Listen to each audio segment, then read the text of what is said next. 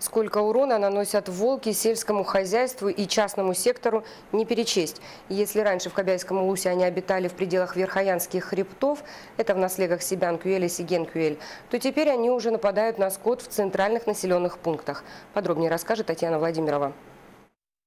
Нынче волки появились и на территории поселка Сангар. За прошлый год серые хищники напали на лошадей в селах Коку, Кобяй, Батамай и на оленей в селе Сибянкюль. С начала ушедшего года охотникам было добыто 28 волков. Пострадало 1485 оленей и 10 голов лошадей. Уже в этом году напали на двух же ребят. В данное время охотниками убит только один волк. Раньше применялась для, для добычи авиация. Вот, применялись яды, ядохимикаты, и большинство охотников было как бы подготовленных э, к этому. Сейчас на данный период времени авиации не летает, потому что как бы дорого, яды запрещены, у нас по Российской Федерации. Э, охотников стало меньше, потому что молодежь не хочет заниматься этим. Созданы четыре бригады волчатников, которые занимаются этим.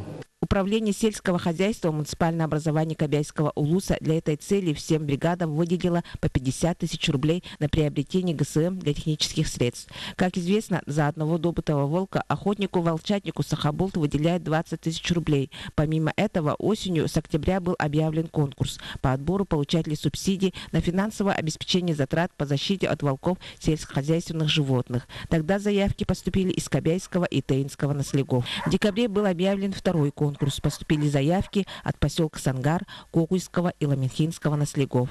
Татьяна Владимирова, НВК «Саха», поселок Сангар.